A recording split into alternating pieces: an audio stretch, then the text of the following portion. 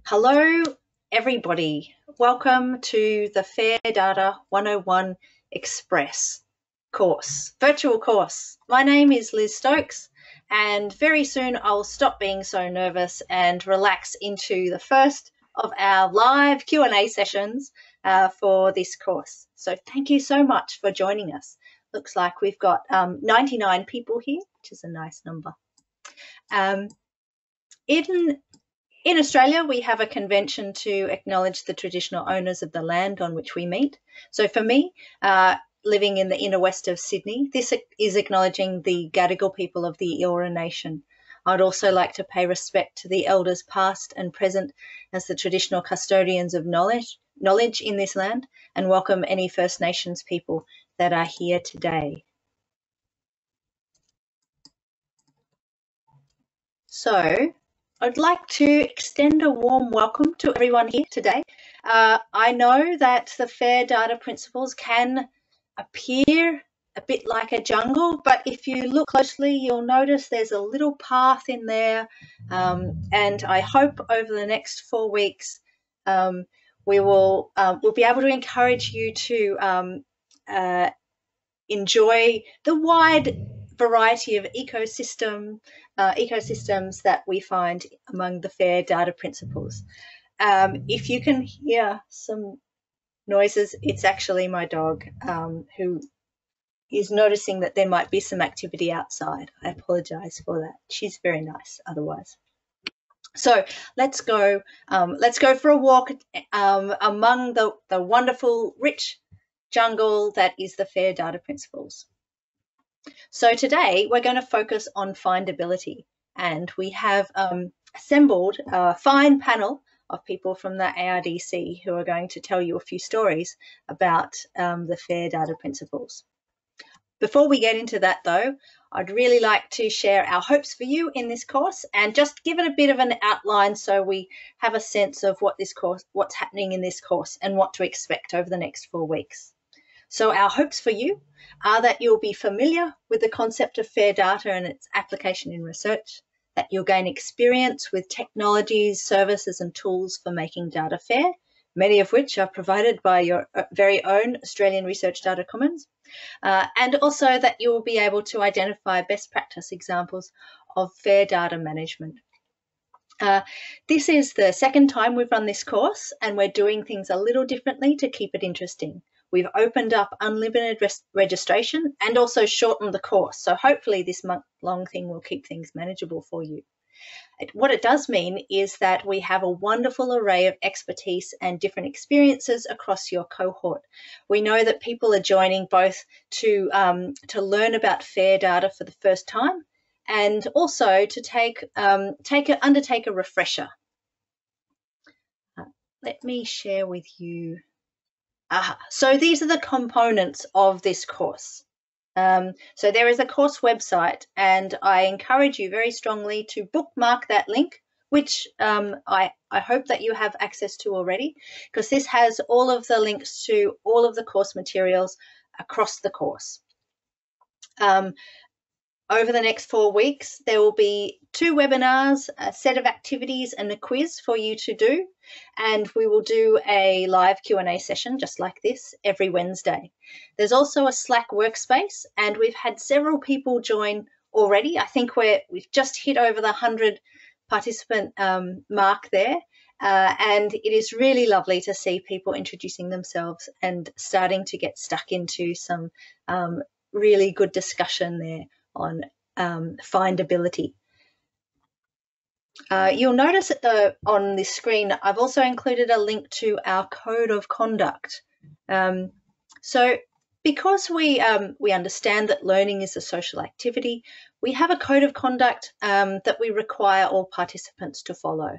So I recommend you um, copy this link and um, have a read of our code of conduct um, because I think it's up to all of us to uh, uphold a safe and respectful learning environment, and ensure that our social interactions create spaces in which everyone feels empowered to learn. So if you feel that the code of conduct has been breached in any way, there's a link on that um, code to a reporting form which goes direct to the ARDC and we'll follow up on that promptly. So our findable today experts um, are um, uh, Natasha Simons, from who's the Associate Director of Data and Services at the Australian Research Data Commons.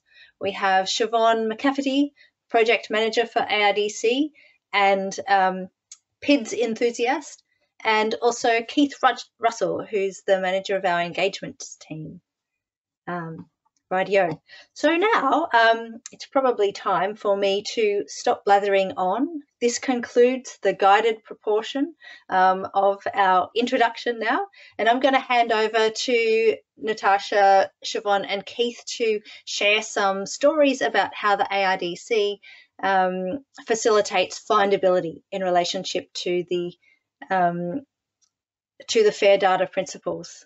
So I'll run these um, I'll run their presentations all together and then we'll open up for questions. So um, feel free to pop questions into the question component or the chat uh, in your go-to meeting um, and we will we'll take it on from there. Thanks, Liz. Wait till you pass me screen share. Yes.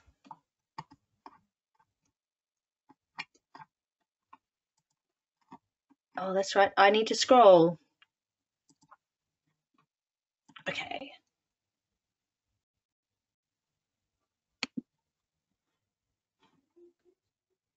Okay, just let me go into present mode.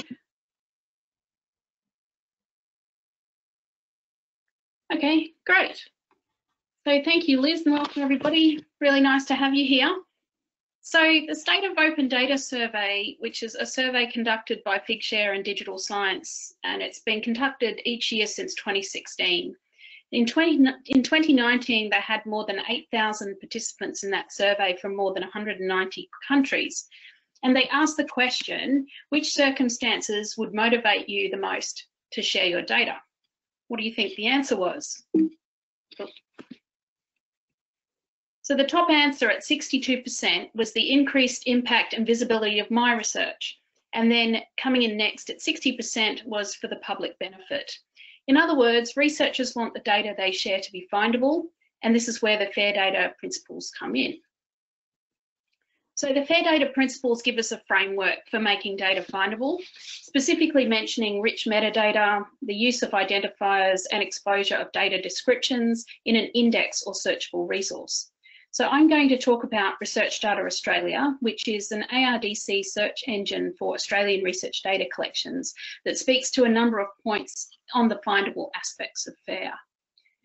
So Research Data Australia helps you find, access and reuse data for research. It caters for researchers, policymakers, educators, business people and the public. It's more than just a search engine. It enables you to reuse existing data, to explore beyond your discipline and to assemble data resources to solve big problems. So it's interesting that the number, the number of the day appears to be 99. That was the number of people who came in in the first part of this webinar. I think it's in, increased now, but 99 is also the number of contributing sources into Research Data Australia, and they're contributed by organisations across Australia. So there are 144,126 uh, collection of collections of data records in Research Data Australia, as well as um, collections of software, um, references to researchers, services, as well as grants and projects. Okay, it's important to note as well that we don't store the data itself in Research Data Australia. We provide links to the data um, that are provide the records are provided by those contributing organisations, and the links go back to the data sets that are held in their collections. So we don't all have open data in this either. Um, it's a mix of descriptions about data as well as um, links to open data.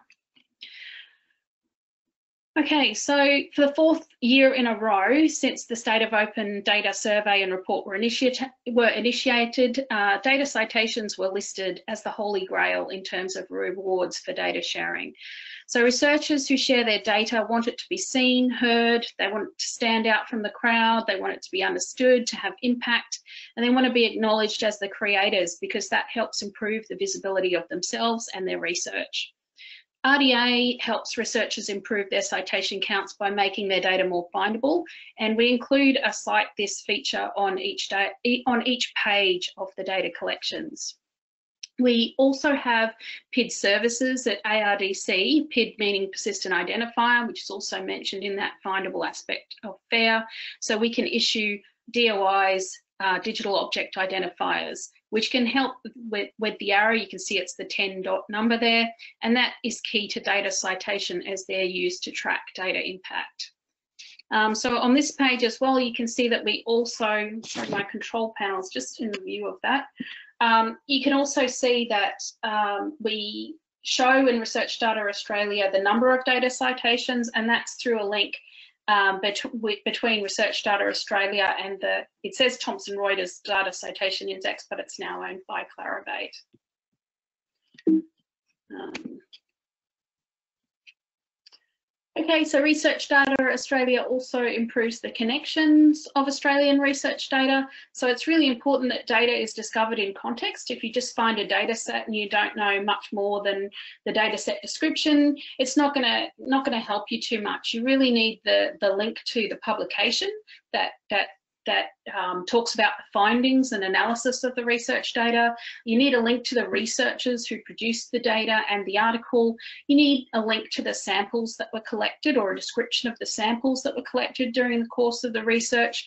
Um, you need a link to the research organisation that the researchers are connected to, a link to the software, the underlying software perhaps from the, from the data collection, to the project itself, as well as to the funding um, bodies that um, that we're able to fund that research. And Research Data Australia enables all those things to be collected and to be connected in the metadata records.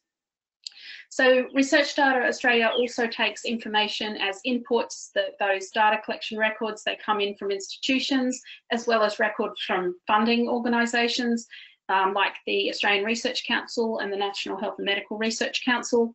And then they're pushed out as well to places like Google. So they, they increase your the findability of data in Google just by being in Research Data Australia. Um, we also feed out to the DataCite. Uh, they're the organisation that mints digital object identifiers. They also have a search interface. And through those things, we also are able to exchange information with um, publishers as well, so that when somebody search for an article in the Scopus database, for example, the link goes back for the underlying data held in a repository and that's through contributing that information into Research Data Australia. It's fed into all of those services. So just to sort of wrap up with a data impact story. So I started by saying that the top motivators for sharing data were impact and visibility of research as well as for public benefit. And this is a really good example. So Professor Anne Cust from the School of Public Health at the University of Sydney led a study into the link between sunbed use and melanoma melanoma, and she found that young people are especially sensitive to sunbed UV radiation. So she, her team did some modelling and they estimated that banning sunbeds would reduce the number of melanoma cases in New South Wales alone by 120 per year. And as a result of that, that research was pivotal to the New South Wales government banning commercial sunbeds from the end of 2014 with other Australian states and overseas places following suit. So this research was the winner of the Sax Institute's Research Action Awards in 2015, recognising the impact the study had on improving public health. It features in the ANDS Australian National Data Service uh, data impact stories if you're interested in following that up. But it's a real reminder of why data is so important and the impact that it can have on the world. So Research Australia helps that by improving findability, citability and connection of data, which helps make more data more fair, which means more impact of research.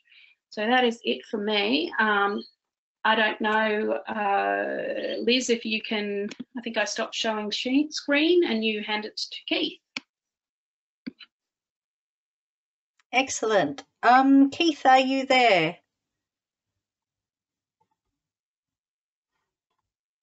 Oh, but we might Yes. need you. I'm here and I'm muted. Yep. Wonderful. I'll I'll be quiet now. The the floor is yours. Do you need me to make you a presenter? yes, please. Then I can share my slides.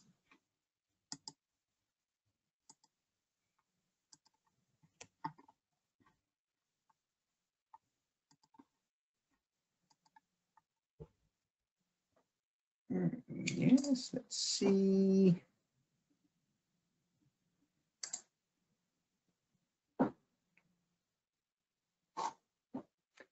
Can you now see my screen? Yes. Excellent. Okay. Um, I would like to uh, like to build a little bit on on one of the uh, the fair uh, fair fair guiding principles, and uh, I would like to build on the principle F2. Uh, so the principle is uh, that data are described with rich discovery uh, rich metadata, uh, but I'm going to make it a little bit more specific for today to talk about rich discovery metadata. So um, in this current period of lockdown and uh, sadly not being able to reach out to the, uh, the, the, the larger world out there, I do want to bring in a few international pictures at least to maybe to taunt us and tease us. It certainly taunted me. Um, so because research is an international endeavor, it's all about making sure that research is findable, not only for Australians, but also for the whole world. So when considering metadata are crucial to making sure that data is findable and reusable in the end. Um, it's not just the icing on the cake, it's actually a, a, crucial underlying factor.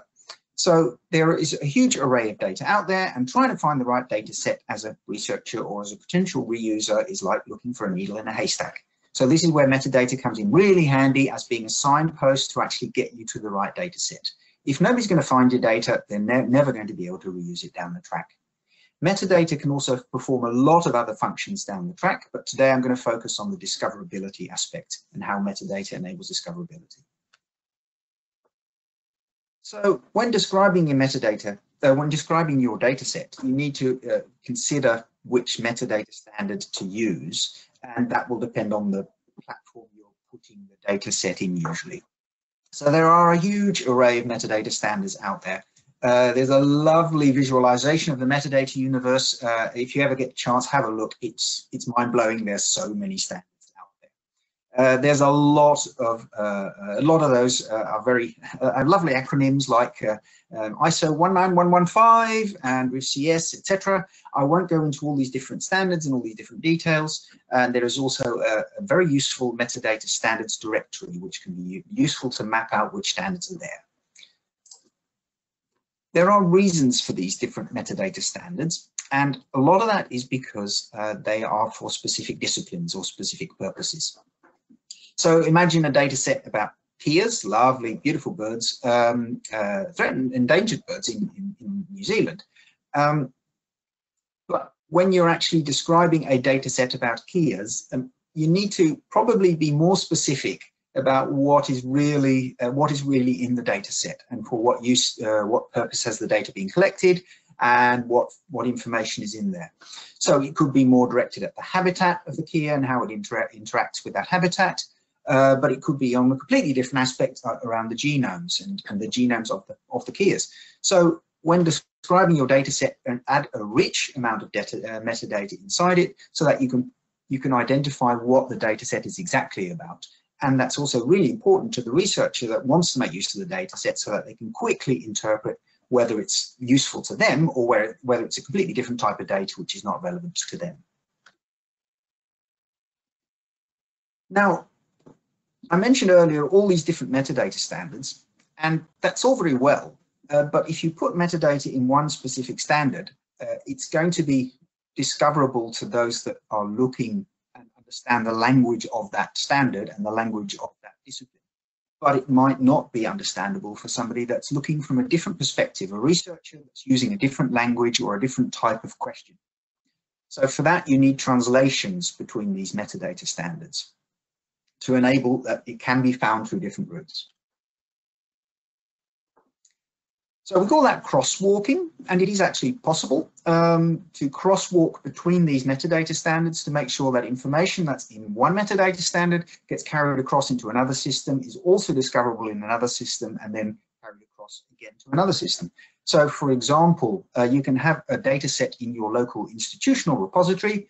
Uh, I've put up here CSIRO, CSIRO DAP as an example, and um, that holds the, uh, the metadata in a specific metadata standard that gets moved across uh, to uh, ResearchData Australia, where it's captured in RIF-CS, and that then is also moved across uh, in, through schema.org and can also be found through Google Dataset Search.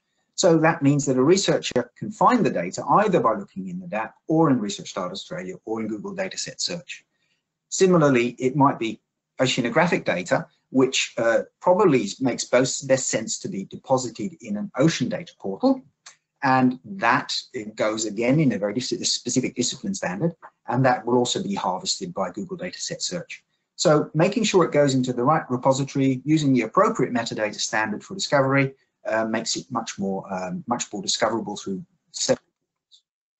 So what wrapping up, make sure that you have well-described method, well-described data with uh, rich um, metadata so that enables the discoverability for a range of researchers in the relevant metadata standards and make sure that it's discoverable through these multiple platforms and portals. Okay, thank you. That was my uh, quick pitch. Awesome. Thanks very much, Keith. I'm going to hand over to Siobhann McCafferty now um, to talk to us about the glory of PIDs.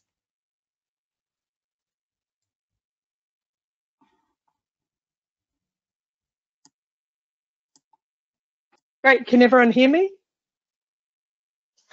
Excellent, cool. I've just managed to wrangle my microphone settings. Um, so thank you for that introduction. Uh, and I'm going to talk to you a little bit about PIDs and about DOIs. Can everyone see my screen as well? Yes. yes, we can see. Seeing any waving. Great. Cool. Okay, so um, let's let's get on my notes as well.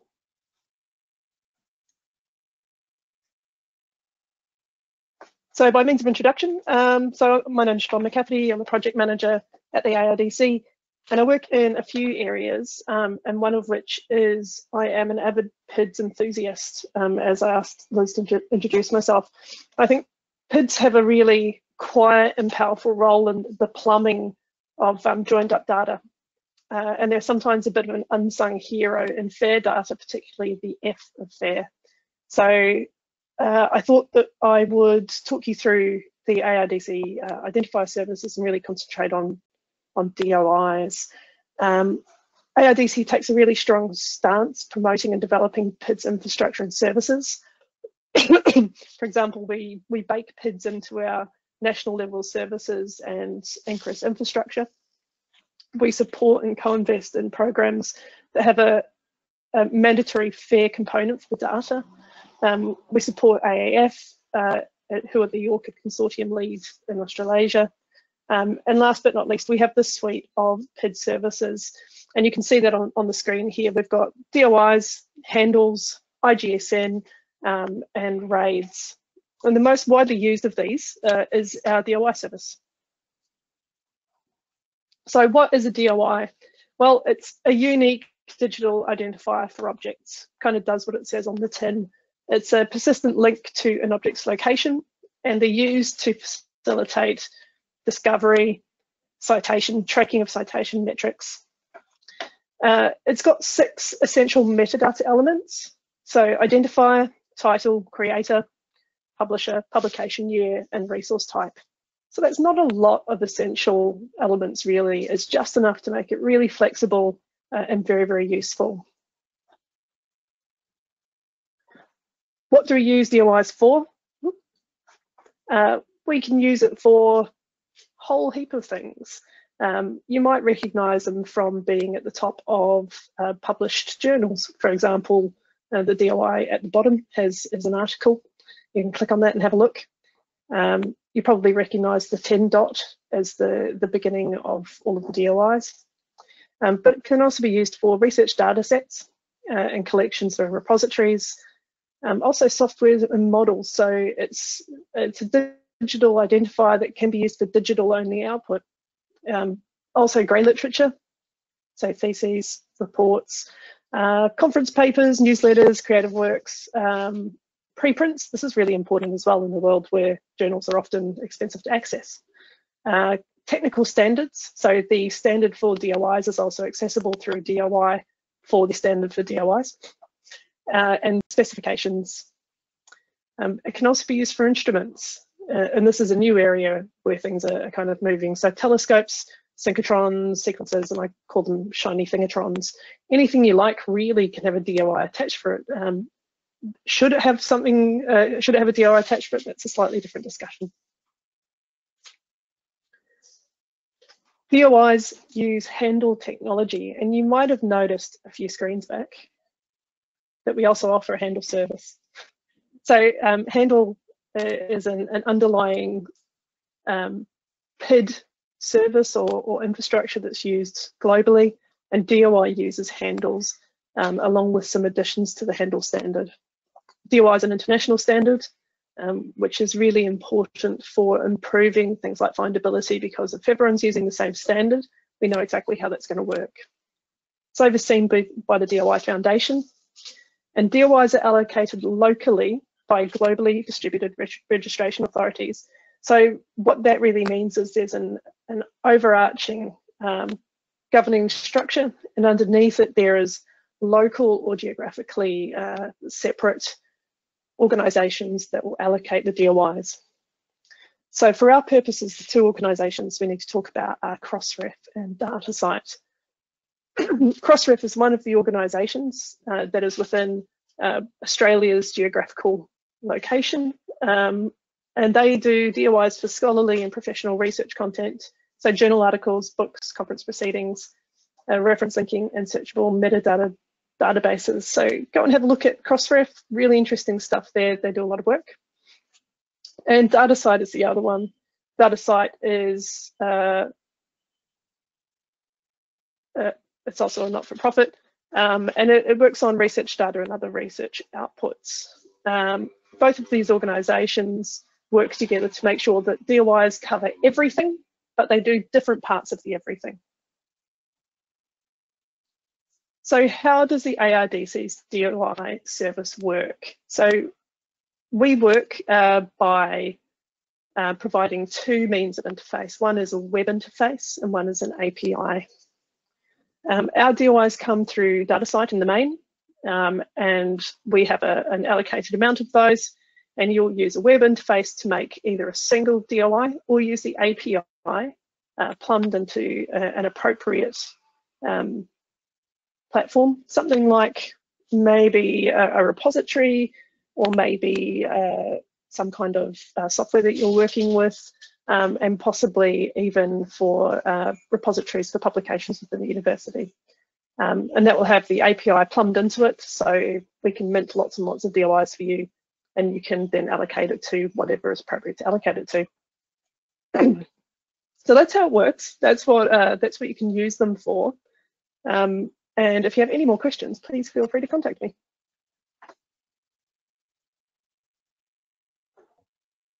Awesome. Thank you so much, Siobhann. All right. Well, um, that is the that concludes our panelist mini session um, this morning or this afternoon, where wherever you are.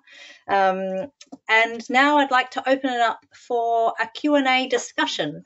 So if I can invite our panel to turn their um, mic video cameras on. Um, and also welcome Richard Ferrers from um, Victoria, who um, is also on hand to um, talk about some of the some of the intricacies of um, DOIs and um, repositories.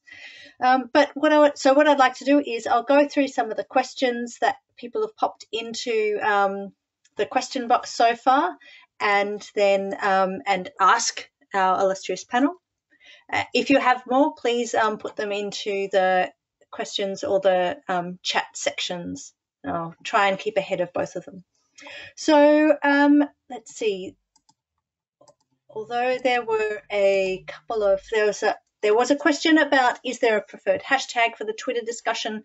That is um, you may have seen that in our previous um, uh, webinars, but if you can hashtag um, ARDC training or FAIR 101, um, they're the best hashtags to, those are the best hashtags to use. Now, there was a question about links to the metadata standards um, uh, when Keith was talking, and so we'll have, uh, we'll make these slides available so you can follow up um, on those links um, later on in the week. Um, hopefully we'll have those um, onto the Slack and onto the course materials website um, quite promptly. Uh, there's a comment on the Riley visualization of metadata standards is amazing, but most of the metadata schema standards there are not applicable to describe data sets, but other digital objects. Um, would anyone like to comment on this?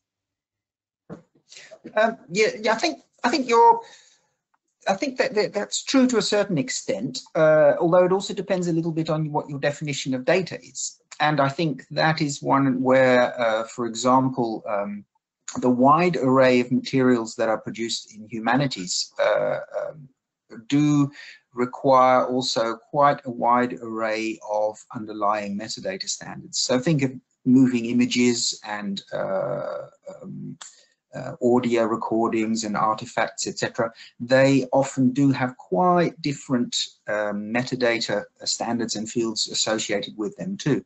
So um, yes, the Riley does contain a huge range of uh, different uh, metadata standards, and some of them are, may not be directly applicable to research data, but there, them you'll if you take quite a broad view of research data, you might find that there's more included than you would expect in first instance. Awesome. Thanks, Keith.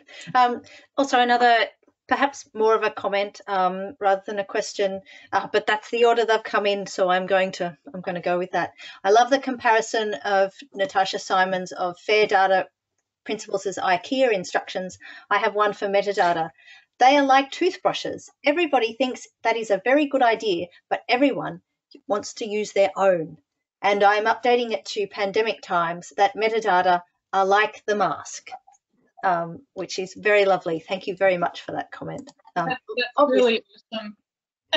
just for those who, who don't, uh, yeah, that's that's fantastic. Um, just to hear the, for those who don't know the IKEA uh, analogy, I, I said that the fair data principles are like opening an IKEA flat pack. You know, you read the instructions and you think it's going to be easy, but once you start, it's actually a lot harder and it takes a lot longer and is much more complicated than you originally thought. Um, but one solution I've, I've kind of thought, I've come to think of FAIR as a continuum rather than a little checklist of do these instructions because there's just different degrees of which you can implement FAIR. So conceptually, I think it's it's good to think of it that way. All right, thank you. Um, can you talk a little more about how the language is translated between different collections to be findable for researchers from different disciplines? Anyone like to take that one on? Yep, happy to talk about that a little bit. So um, in different uh, in different discipline repositories and different dis discipline systems, they they often use different discipline metadata standards. And uh, there are actually nowadays uh, machine uh, machine actionable sort of crosswalks between the metadata standards. So which, which basically says, okay, in in ISO 19115, this field is described as this, and that translates to this field in a more generic uh, metadata standard like schema.org or RIF-CS. Uh, it sounds dead easy, and if it was really that easy, then it would just be one-on-one. -on -one. Uh, in practice, it can be a little bit more complicated because one field can map to several fields in a different uh, different metadata standard, or it might need conversion, etc. But uh, that the basic principle is that uh, there's an XSLT between these two uh, metadata standards, and that will actually allow for a translation from one metadata standard to another.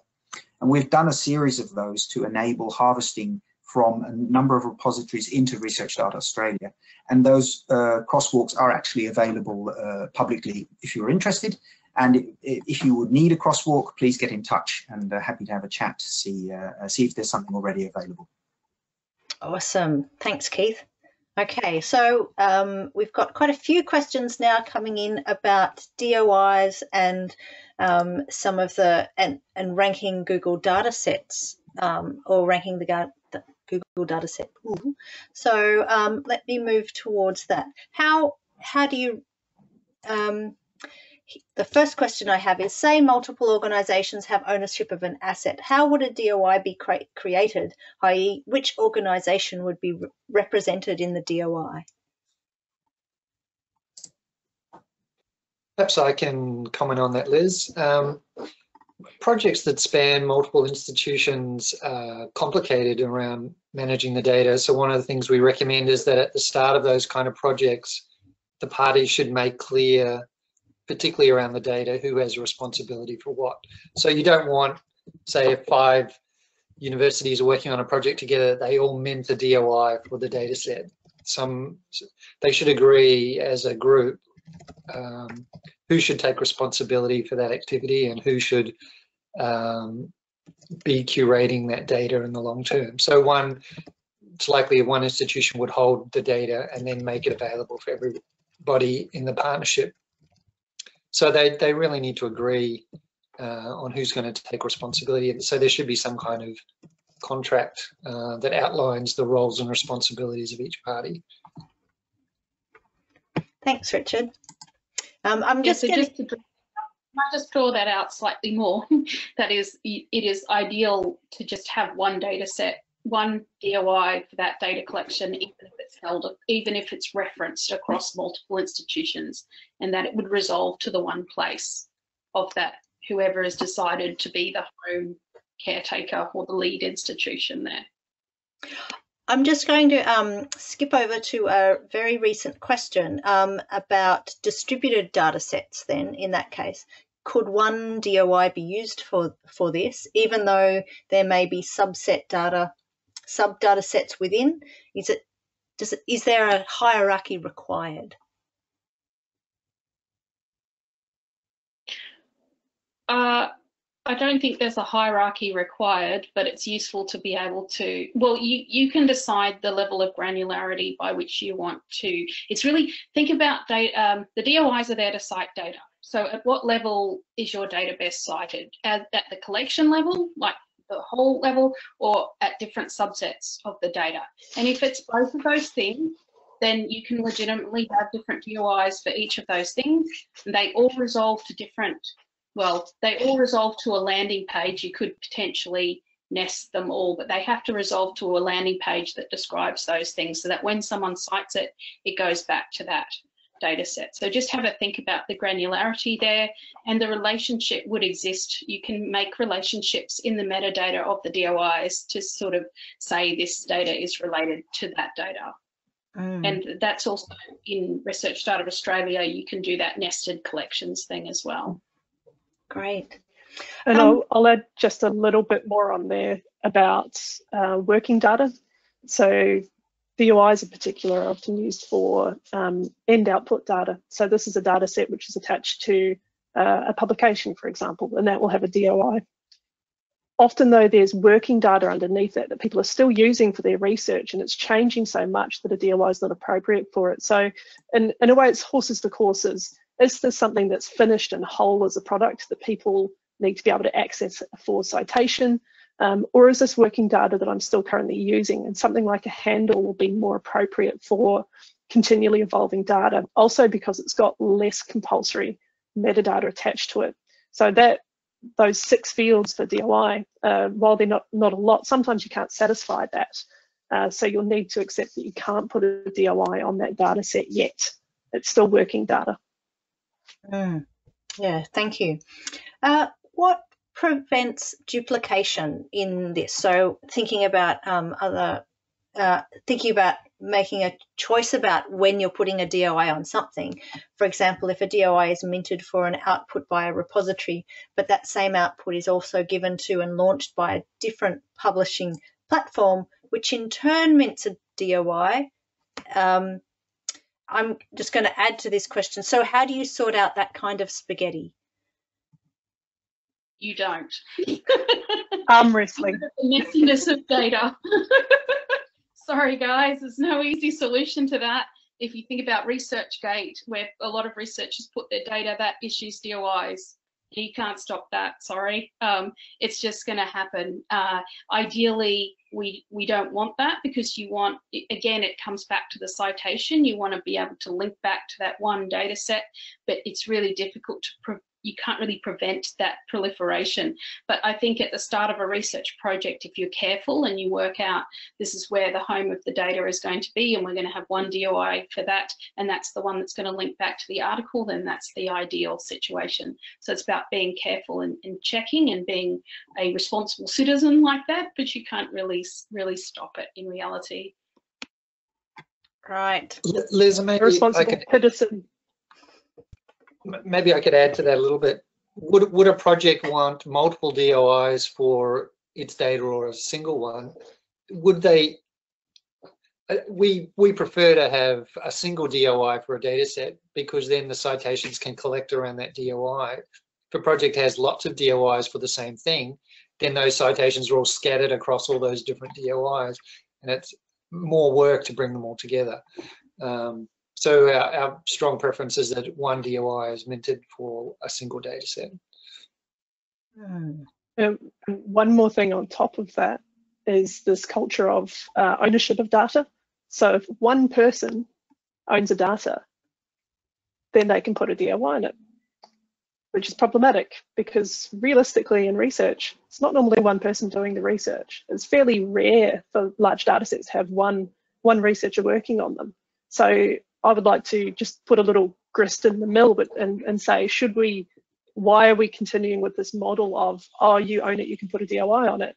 Institution or the lab or whatever, perhaps that's more appropriate for them to have ownership over that data and therefore it's theirs to put the, the, um, the DOI on. That's very interesting, Siobhann. It, um, I'm going to jump over to a question about um, uh, looking at the personal uh, level or you know on somebody's CV, um, uh, it is much more beneficial if people cite my data, my papers rather than my data. Therefore, when posting my data online, I ask users to cite the paper that discusses the data collection slash analysis method rather than the data DOI itself.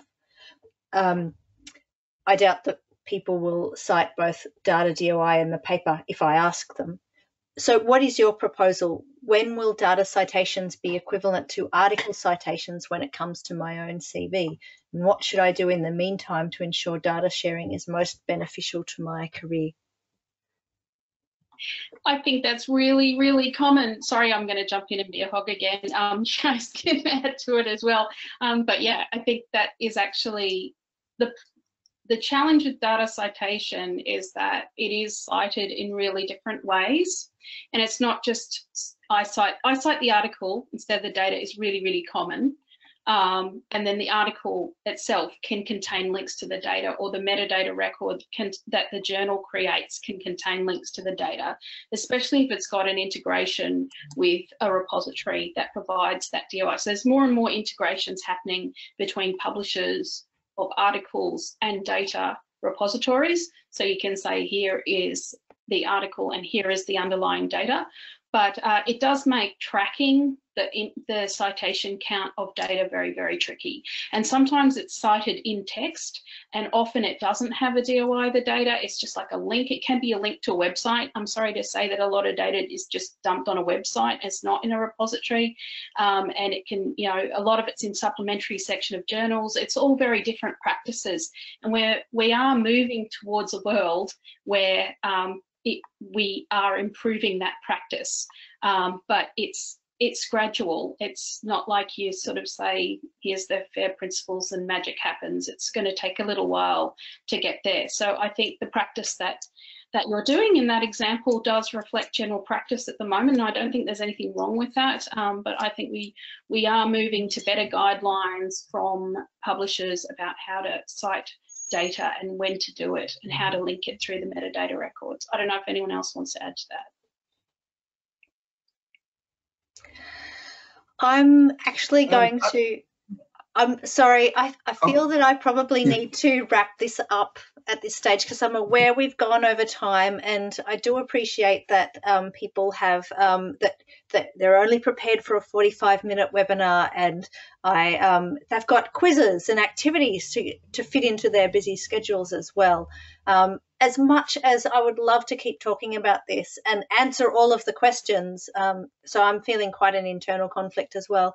Um, we will undertake if you haven't, if your question hasn't been an answered, we'll undertake to answer that and put those um, Q and A's um, up on the Slack channel. Um, and a link to that on the course materials website as well by the end of this week. So um, I apologise if we haven't been able to get to your question just yet, but we'll respond to all of those in um, in the fullness of this week, if I can say. Um, thank you very much, um, Natasha and Keith and Siobhann and Richard for being here um, with us today um, and answering all these questions. And um, thank you everybody in the course who's joined us um, for giving this a go. Red Hot Go, and I look forward to seeing you on the Slack. Um, if you, um, there'll be a little um, post-webinar survey that happens as soon as the um, this webinar ends. We're really interested in how this is going for you, so please, it's very short. Um, please fill that out. Let us know how you're going, and I encourage you to jump onto the Slack and um, uh, dig a bit deeper into some of these discussions and uh, introduce yourself and get to meet other people here. So, uh, looking forward to seeing you all next week. Thanks very much, everyone. Thanks for letting Thank us you. talk about things we love most.